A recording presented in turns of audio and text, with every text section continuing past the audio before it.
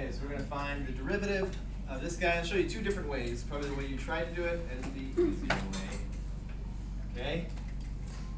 Because when you're learning how to do something, you, you do it very by the book, and, and good on you for doing it. Also, if you put it together with other stuff that you already know, you can make it easier.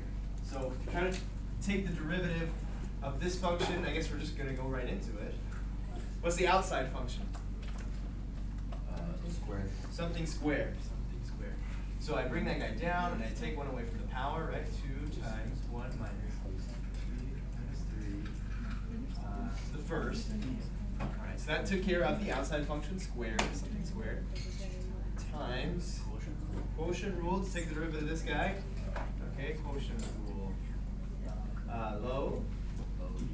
So t minus three times zero minus high, low, derivative of t minus three is just t, or sorry, one, one. Uh, times over t minus three squared. Clean it up. Two over t minus three. That's negative one over t minus three squared. I you just multiply this together, get negative two over t minus three to the third.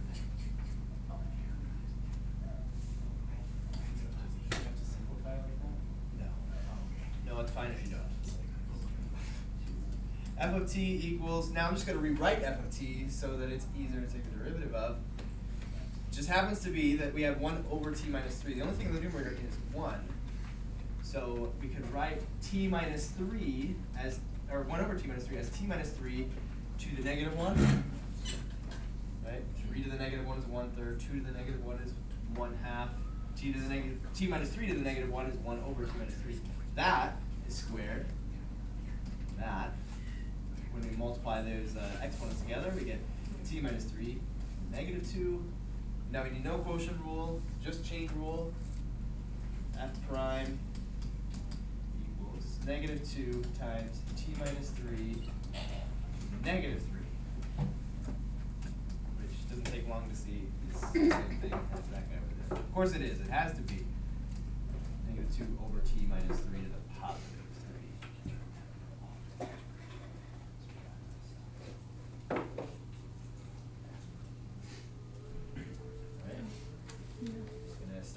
start assuming that if you don't stop me, I'm gonna keep going. Yep. Alright?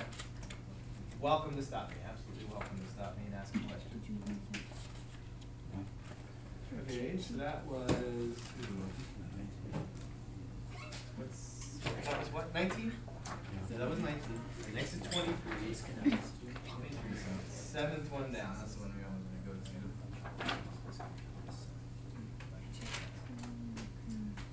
Here, I think it's a little bigger so you can all see it. Uh, x squared times x minus two to the fourth. So, you see we have one function and another function, two functions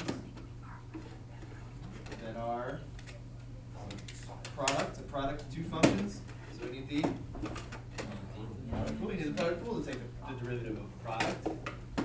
Here, let's, uh, let's, let's look at what f prime is gonna be. This is u, this is v. So the derivative is first like gonna have to use the product rule, so we're gonna do u prime v plus v prime u. Okay, so u prime, that's gonna be easy. v, that's gonna be easy to just copy down. v prime, now what are we gonna have to use, now that you're looking at v, we're gonna have to use to take the derivative of v.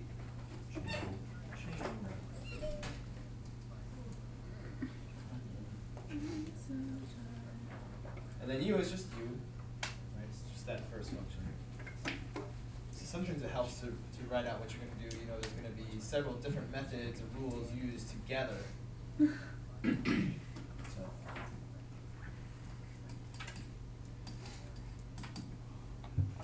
So we look here, we got u prime, u prime, the derivative of x squared. For example, two x, pretty basic. Times v, so we don't have to do anything with it. Plus, now we need to take the derivative of v. What do we need to do to take the derivative of this guy? Chain rule, the most outside function is to the fourth power. Four times, leave the inside alone to the third. Four times the inside to the third power. Times one, the derivative of x minus two is one.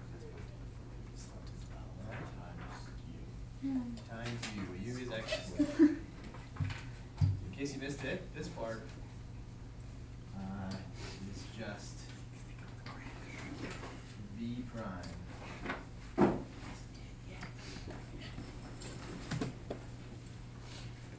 Color coded, that green part is just the v prime, that's the chain rule. And it was all part of doing the product rule for the whole thing. I clean it up because writing times one is redundant, and we could do four x squared times x minus two to the third, and write it however you want. They're all gonna be the same, they're all gonna be equivalent to each other.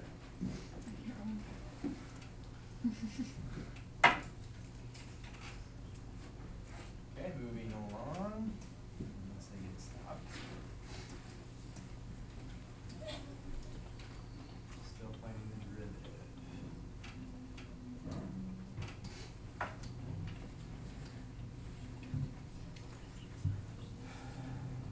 So we have an outside function, right, which is the square, the square, the second power, squaring everything. So first, I'm gonna do the the chain rule. That's just two times. Leave the inside alone. Just copy it down verbatim to the first power times using the quotient rule, the derivative of the inside. Okay, so we need the inside with the quotient. So we've got low. d high, what's the derivative of the high function? One. One. Minus high. d low, what's the derivative of the denominator? Two x over square one below. I won't make you watch me simplify this, you just literally simplify it, it wouldn't be that difficult. I would, I would simplify it because I'm gonna make it, if I'm taking the AP test, I wanna make it easier on the readers. Readers are the, what they call the people who grade your test. Uh, if I'm doing my homework, like a good-looking homework answer, uh, and if I wanna be sure that my, my answer is correct, then I'm gonna check, uh, check with the solution manual, they're not gonna leave it like this. They're gonna simplify it down. That's up to you. you have trouble simplifying it, it means you're having trouble like multiplying polynomials together, some pretty basic stuff. If you're having trouble with that, then come and see me one-on-one, and we can work that out. Next. uh,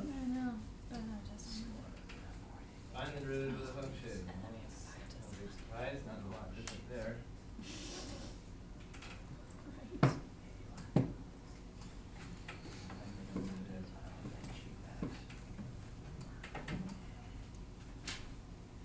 Okay, let's see, we've got the secant function, tangent function.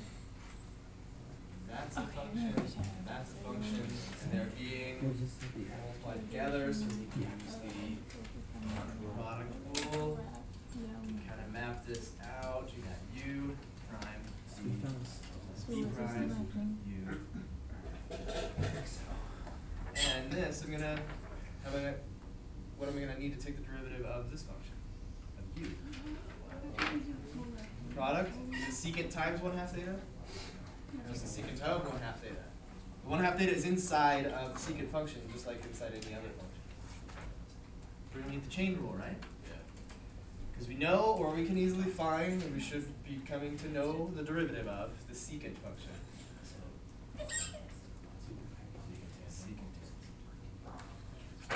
And also, we're gonna need the chain rule for the v prime.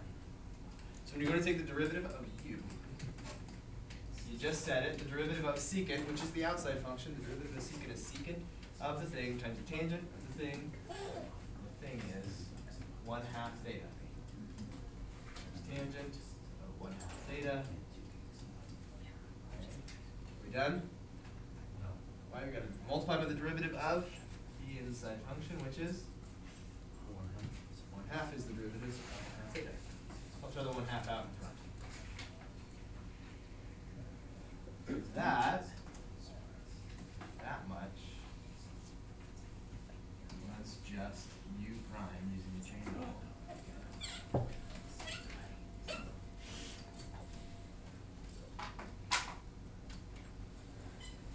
And then move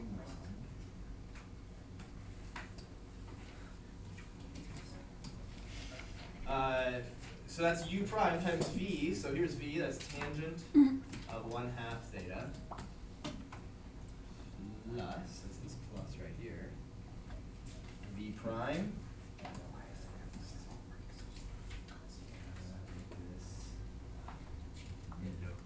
What? Oh. I already pressed hard.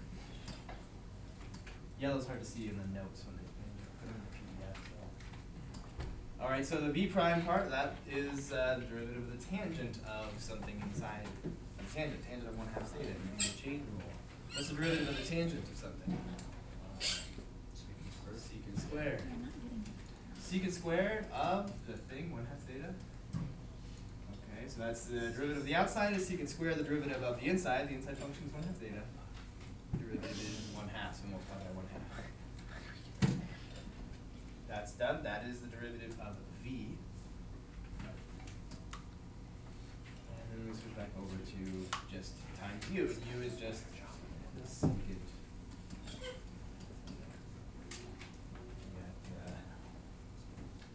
Uh, we'll take out a one half. We'll also take out as many secants and tangents as we can.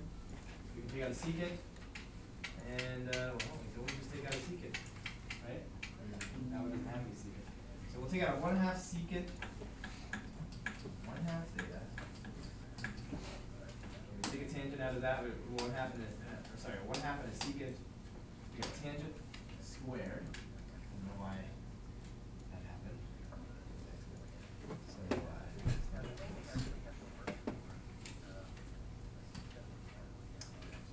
uh, times tangent squared of theta plus, took the half, we took one of the secants, so we're left with secant squared.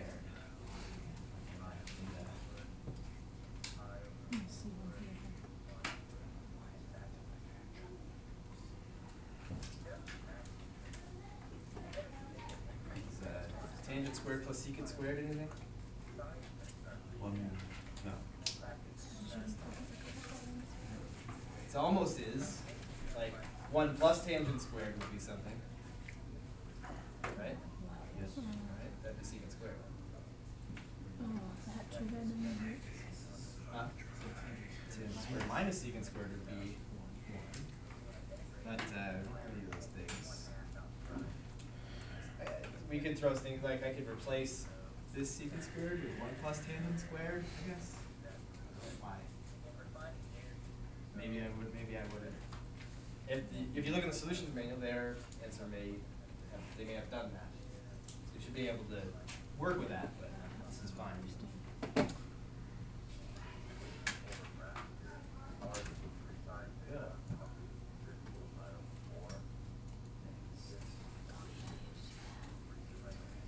Find the derivative. I don't know why they bother putting different on all these numbers, they're exactly the same thing. Find the derivative. Just so we're clear, this is the sine of x squared. This one is find the second derivative. Yeah. Mm-hmm. Did it say that? Yeah. The second derivative. Okay. Well, how do we find the second derivative? You done the first derivative. So you have to derive it again, you have to, or differentiate is the word. You take the derivative, and then when you have the derivative, take the derivative of the derivative. F prime, what's the outside function here? Sine. The sine, what's the derivative of the sine? Cosine.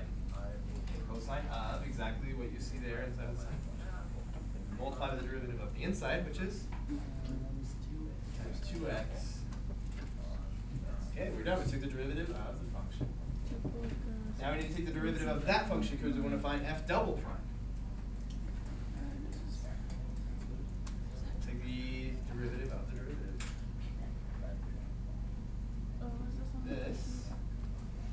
function, and this is a function. And we're multiplying those functions together. This will be no problem when you're going to take the derivative of it. When we take the derivative of this, we're going to use the, use the chain rule. So we're just going to keep that in mind.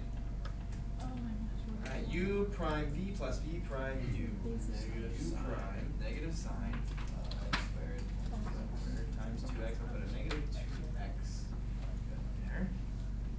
Times v, that's times 2x plus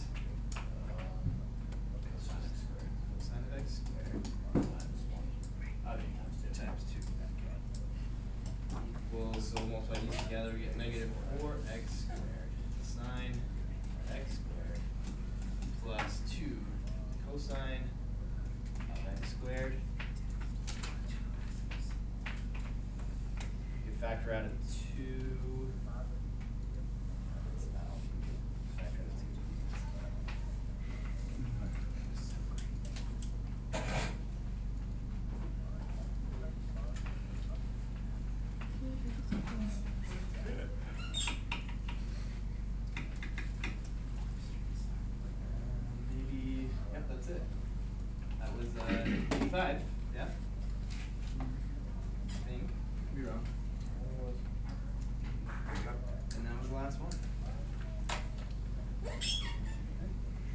Good, feel better? Yes. Yes. Okay, good. If not, do you have any questions, questions, or do a little review?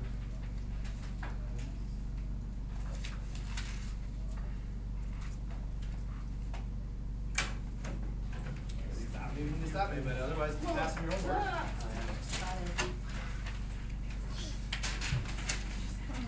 It's perfect.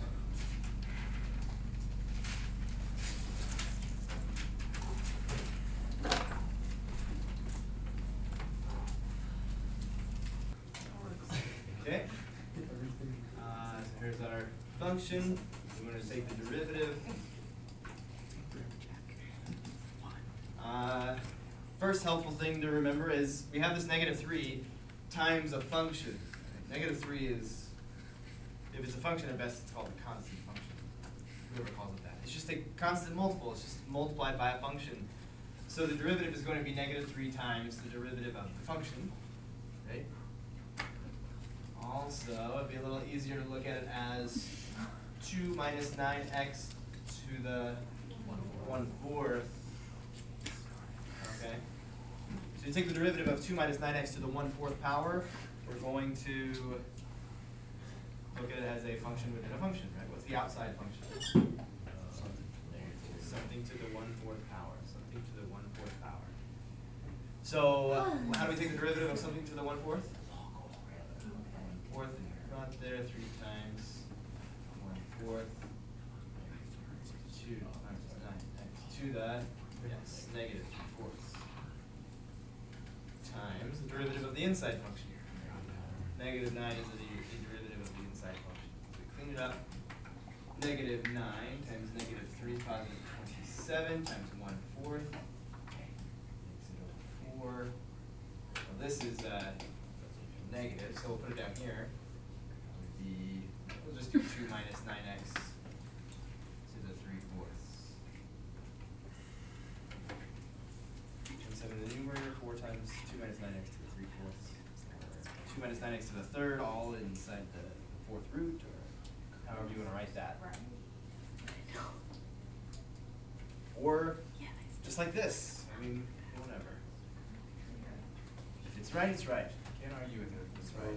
like, if they have it, but it's like, it's not exactly simplified, like, they have negative three times negative nine over one fourth, so they have it. but Over it's- one fourth Yeah. or over four? Over one fourth. No, it's, it's close enough. So there's no actual- Should be the three fourths. Remember, just do it exactly like the rule tells you to do, and, and it'll be ugly like this. This is pretty ugly, and then clean it up. Don't try and do too much stuff at once until you get better and better and better. You're just starting, so just do it step by step. There's a power there, bring the power down, multiply by the power, subtract one from the power. You start forgetting that stuff right now, it's just gonna be a habit down the road.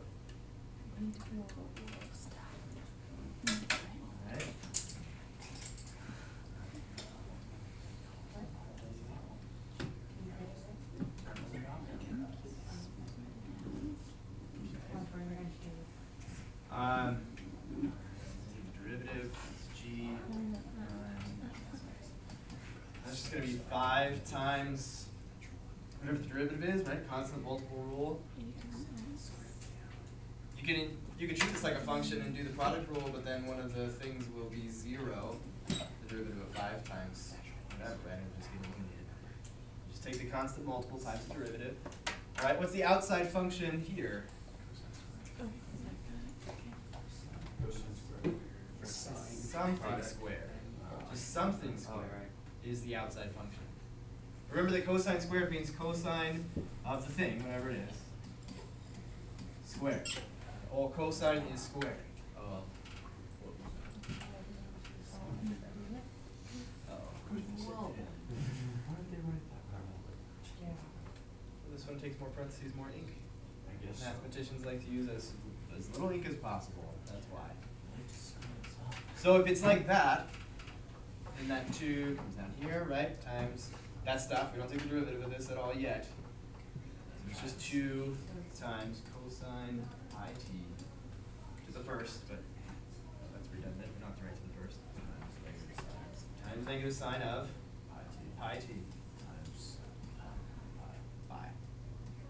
The derivative of pi t, pi is just a number multiplied by t. Derivative of pi t would be pi. Let's see here.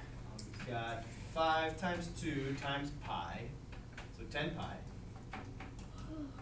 Times, uh, well, times the positive times the negative, so this is gonna be a negative ten pi. Times the cosine of pi t.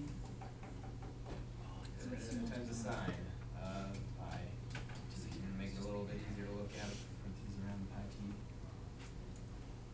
Um, That'll be it.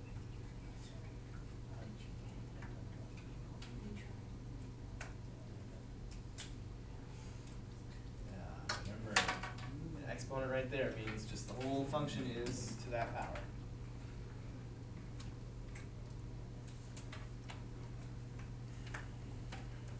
That's it, it's two problems, right, out ten, score it,